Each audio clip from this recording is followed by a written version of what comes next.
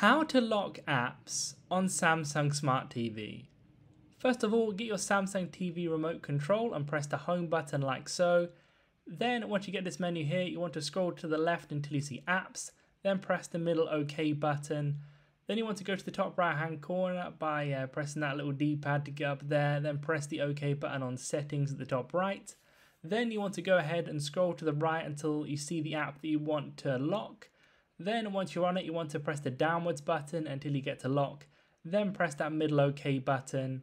There you'll be prompted to input your four digit PIN code. So to make sure you find out what that is. So this one won't be more for the person who set up the TV, which are probably parents, and then you can potentially lock your child's app. That's what it's for. So you to make sure you get that pin, go ahead and type it in, and then once you typed it in uh, successfully, you'll be able to lock the app. You could do that for all the apps or whatever app you want. That's how it's done. Leave a like on the video if it helped, subscribe for more helpful videos.